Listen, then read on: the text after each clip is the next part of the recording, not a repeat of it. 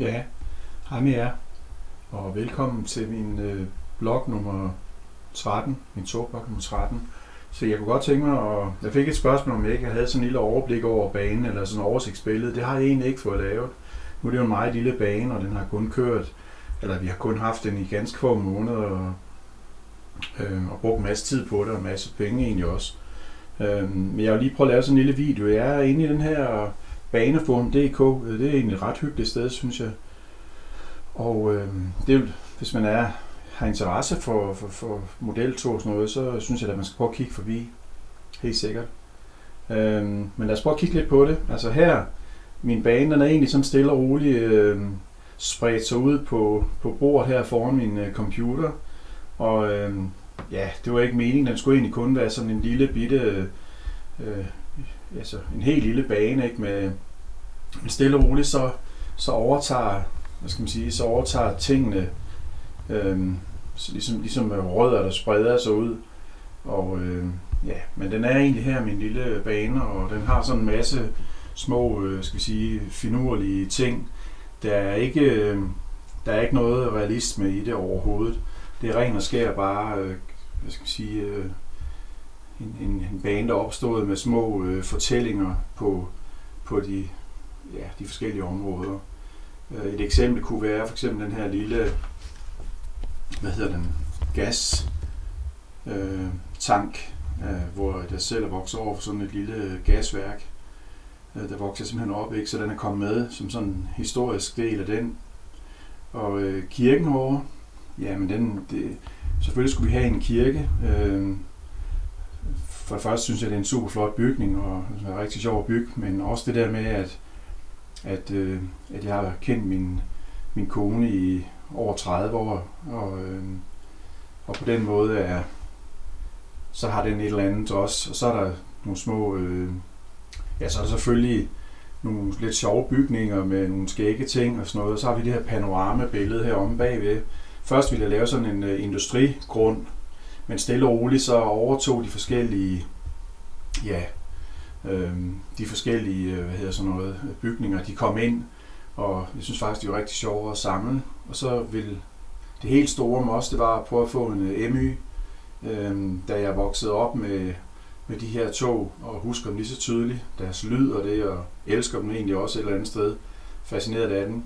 Og så har jeg fået gamle lokomotiver hernede også, og bygget sådan en kulstation og nogle gamle vogne. Øh, igen, ikke noget, der giver mening på den måde, fordi det er en stor som sammenblanding, og jeg ville egentlig ikke have haft andet end det. Men så kom der lidt ekstra til, og ja, herover har vi sådan vores lille, øh, de mange rejser til, til Schweiz, vi har haft, øh, til familie dernede, og så skulle vi selvfølgelig have sådan et lille, et lille bjerg, og det her lille bjerg, det, det er faktisk sådan en glasfiber, øh, hvad hedder så noget, ja, det er egentlig lavet ud af, af glasfiber, og det er faktisk dekoration, som har været i et af vores akvarier. Det er så blevet til et lille bjerg nu her med, med, øh, med sådan tema og form. Der er godt nok trængsel op, ikke? fordi det er ligesom, hvor meget kan der være der. Så er der, så, så kom det tyske islet ind, og de tyske tog kom med. Jeg synes faktisk, de er super spændende også. Og øh, ja, så stille og roligt, så har det udviklet sig. Og der kom mere, øh, mere, der er rigtig mange små bitte figurer. Jeg tror, der er over 130 små figurer. Det er jo den del, min kone står for. Hun har hele tiden været sådan øh, inspiration omkring det med, med, hvad hedder det, altså, skulle vi ikke gøre sådan, og skulle vi ikke gøre det og det? Og, øh, og der er sådan knyttet små historier til, faktisk til samtlige af de her huse, og de personer, der er her. Altså hernede, øh, øh, det er så der, hvor det kan blive lidt, lidt, lidt pjattet, ikke? men altså, øh, altså det, det, det er sådan noget, jeg må fortælle om en anden gang, tror jeg. Øhm, men ellers, så er det sådan stille og roligt, som sagt, udvidet sig, og det sidste, det er de her små, skønne øh, øh turmtripvarken, som er, jeg synes, fantastiske.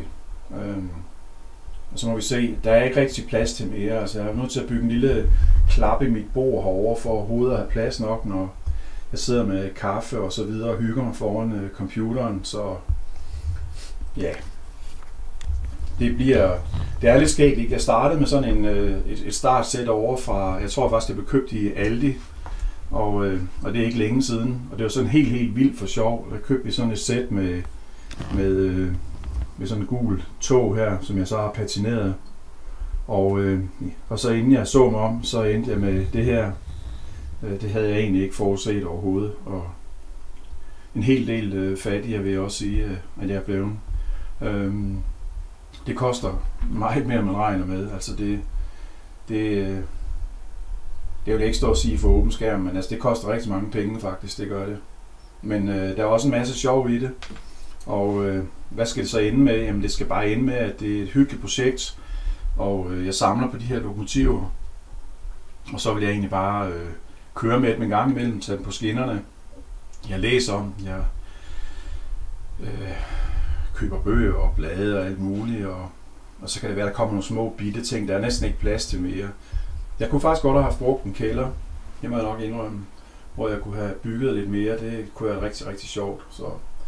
Men der er mange måder at gøre det på.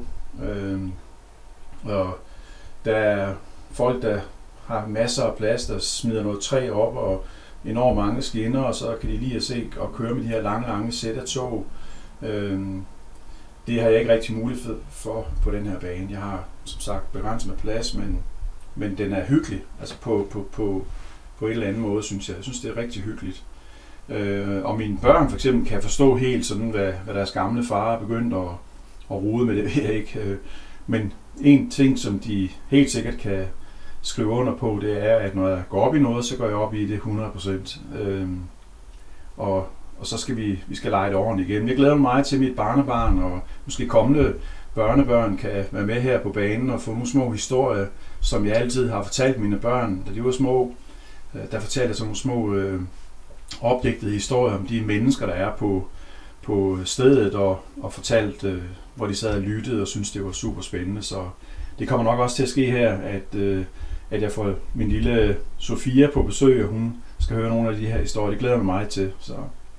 Men det var egentlig alt for nu, og øh, jeg håber, man har fået sådan en lille overblik over den her lille bane, øh, hvor anderledes og mærkeligt den må være, så er det vores bane. Yes, jeg smutter igen. Hej med jer.